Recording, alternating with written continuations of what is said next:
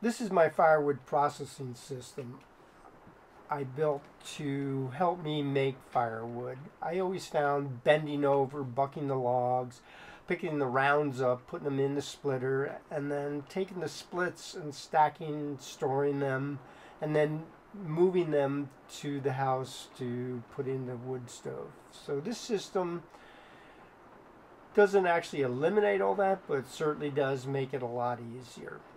I'll include some videos, some clips of the system in action. Anybody has any questions? Let me know in the comments.